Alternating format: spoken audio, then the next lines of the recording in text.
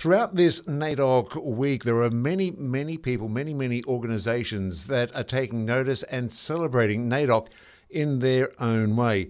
Right now, I've got Steve Renouf, the rugby league legend, who is also the consumer advocate for Aboriginal and Torres Strait Islander champion and the co chair of the Reconciliation Working Group to talk more about the Australian Digital Health Agency.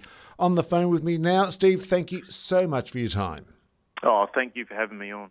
Mate, before we go into this, I've got to ask State of Origin coming up. It's round two in Sydney. What's your pick?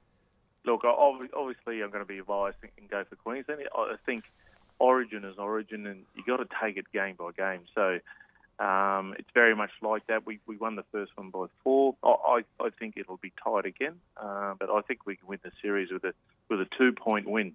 There you go.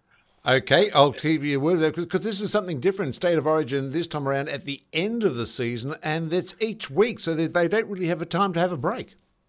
Yeah, exactly, and that, that's just how the year's been, hasn't it? And um, you know, we were, we were fortunate enough that we got we got a a, a season out of the NRL, um, which you know a lot of good work was done there, and um, also you know by the rugby league and by our state government. Um, so, but then also uh, now to get an Origin, who would have thought? Um, let alone playing at this time of the season, but we actually got an Origin series um, anyway, you know, so that, I think that's a bonus. It certainly is. And you reckon Queensland by two. Okay, I'll hold you to that. And if you get that, I'll shout you a drink. Great. but we're also talking because we are in the middle of NAIDOC Week 2020. Always was, always will be. Now, the agency that you are involved with, which is Australian Digital Health, I understand they've joined up with a reconciliation action plan with other agencies. What's that all about?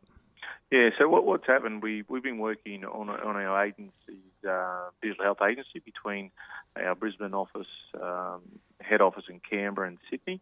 Um, and uh, two years ago, um, you know, we decided, uh, you know, we, we got to deliver this digital health across the country and uh, and the My Health record. And, and we saw as a priority um, that we need to somehow engage with the Aboriginal Torres Strait Islander community across the country and engage them to to to take them through the journey with this. I mean, um, you know, and and and educate and and just just to let people know. And from this is my role as consumer advocate that it is a good thing, and um, just to reassure them that it is safe.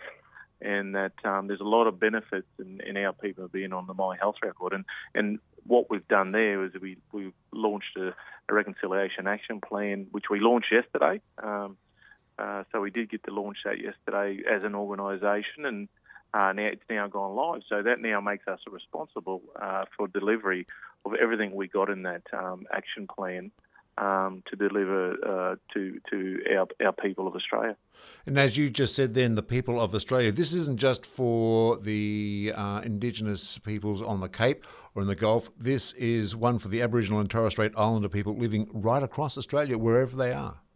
Yeah, and that, that's right. You know, the, the Digital Health uh, Digital Health Agency was formed uh, a few years ago to implement the My Health record, and um, so it is a federal government body which which comes straight out of uh, responsibility of our federal health minister Greg Hunt. So you know it's, it's a pretty important um, initiative that we we got to deliver, and and look, um, we obviously we want to make sure we did the right thing uh, for our mob across the country, and that's why we launched our RAP yesterday. And of course, it's not only just with that, it's with the other organisations that you were with. I mean, it looks like the combined, you've adopted also the procurement policy for the Commonwealth Indigenous uh, Agency, and you've also broadened the supply chain to Aboriginal and Torres Strait Islander and social enterprises. So, this is an all encompassing thing that you and these other uh, health groups are doing. Yeah, without a doubt, and, and that's the thing. I mean, it, when you when you look at, at a, a, a RAP a reconciliation action plan, there, there's so much other things that can come uh, in amongst that, and you partner with, and, and obviously those are you know Supply Nation and, and companies like that, and um, these are Indigenous-run companies, so you know it, it's all about working in. Um, so you know with our procurement, um, we got to look towards that side of things, and that's a big part of what what, what we do, and it's probably a small part of what the greater RAP is. Yeah, to be honest. So it's something that we'll be seeing more involvement with Aboriginal and Islander people from this formation of the network. Now, I believe it's something like 1,100 uh, different organisations and not for profit private groups and everything else. That's a big mob. Yeah, well, it is. You know, we, we, we got to support, um, you know, we got our NACCHOs and, and all our, uh, our across the country. So uh, this is all encompassed so we can deliver better for them, obviously. And, um, you know, we um, consult uh, with organisations across the country, and, and that's what needs to be done as, as a federal government agency. Yeah, with something like this, as I said, it's really just getting improvement of health services where they are needed because too many times we have people falling through the cracks.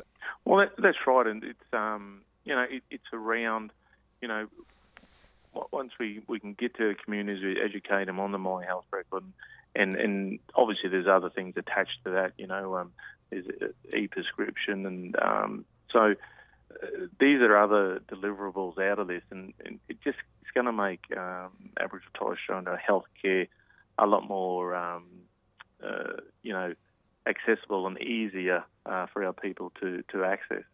Now, Steve, just before we finish up, it's one thing that I have been asking everybody this week, and I'd like to ask your thoughts on NAIDOC. What does it mean to you? What NAIDOC means to me is obviously the celebration of what um, our people have, have, done over all the years here in Australia. And, um, you know, when we think about that, you know, we, we think about, you know, I think of my dad and people that come before him and, and what what they did, you know, way back in the day for Aboriginal and Torres Strait Islander uh, rights. Um, you know, my dad was in the mix of that, and um, and other people obviously across the country. But it's about celebrating those those positive things, and, and that's the thing. It, it, it's always you, you go back in the past, and it always seems to be when we talked about Aboriginal and Torres Strait Islander issues, it was a negative. And this is why NAIDOC Week's so good because we can celebrate the positive and, and take that forward and, we, and educate the rest of the country around, you know, um, there's more positives happening in our community than are negative, and, and we, we need to realise that and take them and move forward. And such a diverse culture, over 150 languages were spoken before uh, the coming of the European. Yeah, exactly, and that, and that's the thing. There's a lot of people um, don't actually understand that, and that, that's all about it as well. It's about, you know, we, you, you sort of try and bring uh, the rest of the population along with that, and um, as as you just mentioned there with that, that language group and and the mob across the country, man, there's a lot of people who just don't know the you know the how rich our, our culture is, and you know, you know, I, I could say it was, but it still is, and across the country, and um, you know, people be amazed. And I've been fortunate enough. I've, I've been out, uh, you know, I've been up up to East and I've been out to you know Central Australia, and a lot of our people have, and, and when they do, they just go, "Wow, it, it's just amazing how rich the culture is." Steve Renouf, thank you so much for your words, and also thank you for letting us know about the Australian digital health. No worries. Thank you for having me. I appreciate thank, it. Thank you. Steve Renouf, a rugby league legend and also a digital health advocate.